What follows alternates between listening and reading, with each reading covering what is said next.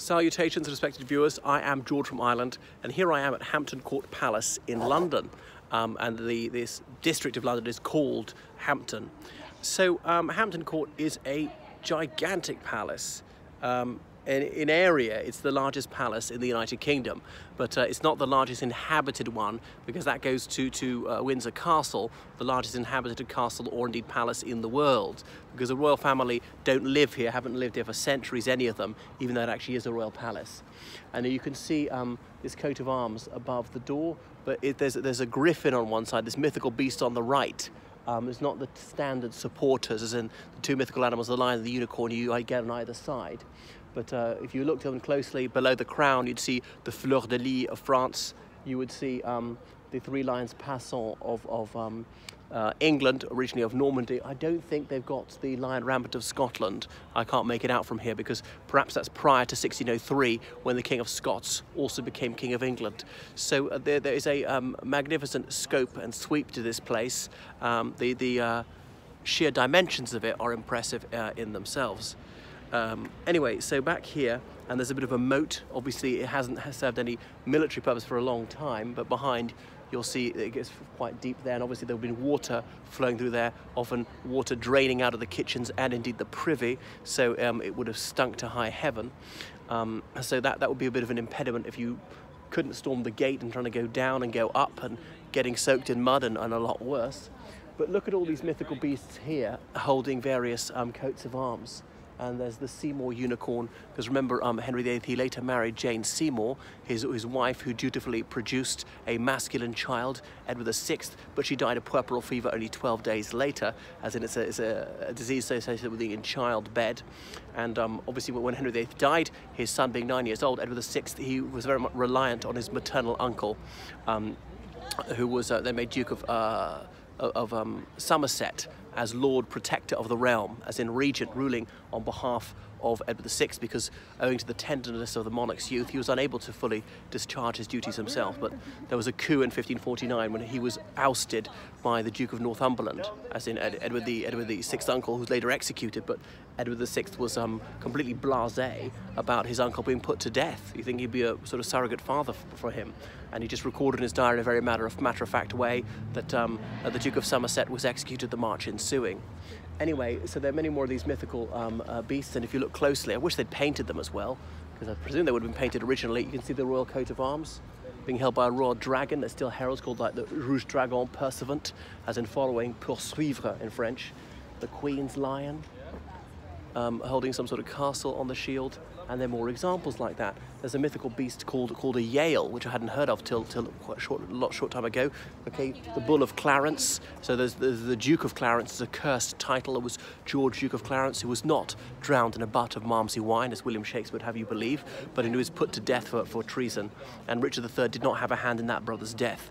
It was um, his brother Edward IV who had uh, George Duke of Clarence put to death, or indeed Queen Victoria's eldest uh, grandson, Prince Eddie, or better known, his, was really, his real name was Albert Victor, but known as Prince Eddie, and he died of pneumonia at the age of 27. Okay, so the Queen's Panther probably probably um, blinded by the brilliance of that fiery orb behind me. And there's the Tudor dragon, of course, Henry VII, Henry VIII, Edward VI, I suppose, well, Lady Jane Grey, um, Mary Tudor, and indeed Elizabeth I. They're all the Tudor dynasty. There's a bit of a mid-Tudor crisis. That was a bad one. Okay, so the Yale of Beaufort. Okay, that's an area of Western England. There's a Beaufort Hunt over there. And indeed, there, there's a Duke of Beaufort, I'm pretty sure, to this day, and the Greyhound of Richmond. Now, are we talk about Richmond on Thames or Richmond in Yorkshire? That's the original Richmond, is the one in Yorkshire.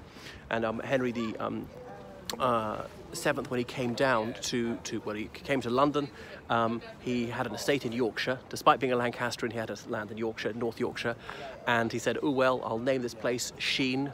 And after, after my estate in Yorkshire, I'll call it Richmond upon Thames to avoid confusion between Richmond and Yorkshire and Richmond in this area. So Richmond, the other Richmond, as a Richmond upon Thames, only about five miles away from here. The Lion of England, and look at that many quartered escutcheon there, the lion's looking away from us. So anyway, we'll just... So what else have we got here? Oh, I'm looking at the motto above, Dieu est mon droit, but misspelled as in the royal motto in French, God in my right. I just heard her say those have got to be for personal use. But let's look up here.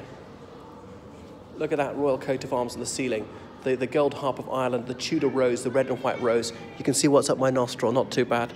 Um, the, the, red and white rose, because of course, when uh, after the Battle of Bosworth Field, when Richard III was killed, then um, Henry VII he wed Elizabeth of York, as in the sister of Richard III, who'd just been killed by um, uh, Edward the uh, Sixth, Edward the Seventh's men.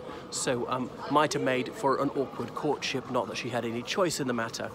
So. Um, there was a palace here as long ago as 1400. Now you'll see a number of these allusions to various Roman emperors, but I'll tell you about those in a minute.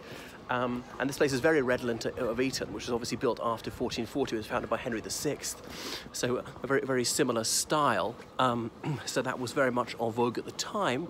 I don't know a great deal about architecture, particularly in the 15th century. Um, and you see this uh, sort of diamond motif, the, the black painted bricks on the red bricks, and that was going right into the into the 19th century um, as a popular design to have on these buildings. Now this guy, he's looking a tad off colour. Oh God, oh yeah, he's got his mask to put on, I suppose he's an executioner. Right, they tend not to be the most sociable sorts. Um, they had the perfect cure for the headache, as Dr. Ignace Guillotin said. Um, anyway, and the, the, the, palace, most of it was, was raised um, from, when, when, Cardinal Wolsey got the area and began to construct his palace, and it was um, confiscated by Henry VIII in 1529. And now Cardinal Wolsey um, was a man of vaulting ambition and thought that he might become the Bishop of Rome. So he was um, uh, entertaining a lot of continental prelates here, and he put up all these, um, uh, all these uh, signs, mentions of various Roman emperors, see Hadrianus imperator. Imperator being emperor, was literally commander, as in imperare, to command. Or what's the word? Um, ah, like, that's why I say imperative. Um, okay, and then, um, but that didn't happen. He didn't get elected pope. It was Italians from 1520 right up until 1978 when Karol Wojtyla, the Pole, the, the, was the Archbishop of Krakow or is it just bishop? Got it. And then there's um, Jorge Bergoglio, who's, who's born, to, born in Argentina to Italian parents, Pope Francis. So he can be regarded as both Italian and, and Argentine. So yeah, so for, my goodness, it was 450 years, every single one of them was in Italian because, of course, any of the cardinals vote who the new pope should be, the College of Cardinals. Every medium-sized town in Italy's got an archbishop, and most of those are cardinals. So about half the College of Cardinals were Italians, so they tended to pick themselves. Before that, been a few Spaniards, one Englishman, no Irishman, sadly, a few Frenchmen, even Greeks, or Greek Catholics, Germans. Was there a Dutchman? I think that's about it. But um, you get an idea of the uh, dimensions of the place. Um, what else should I, should I, point out? So um, there's almost nothing that's original from 1400. A lot of it's the sort of 1515 construction, and then Henry VIII expanded it. You can see the brickwork has changed where they've had to repair it, but they've always done it in a sympathetic style. But this is quite a vernacular style for this country. So I'll carry on. There's a gaggle of school children going by. Um, Anyway, so it really is a statement in stone, emphasizing his, uh, his wealth and might, well, of the cardinal and later on of the king. It was well outside London, away from plague and all the filth. So they had uh, huge kitchens here employing 200 people. And one of the most unenviable tasks was to have to turn the meat on the stick and be there only wearing a loincloth because it was so roasting, you'd be perspiring like a pig. And um, uh, they had to serve 600 meals twice daily. Oh yeah, and then above the door, he got HR on either side, Henricus Rex. Um, oh look, Anne Boleyn's gateway. She spent some time when she was queen. I wonder if her shenanigans went on here. Those seven men she, was supposed to having an affair with, including her brother George. And there were eyewitness statements saying that they saw um, Her Majesty the Queen put her tongue into a man's mouth and blah blah blah. So obviously um, uh, adultery in the royal family was, was an attempt on the throne. Therefore, was high treason because if she became pregnant as a result of her liaison with a paramour, that infant would be presumed to be the king's child and could one day inherit the crown. So you've got Ogalba, the emperor, Titus, and others.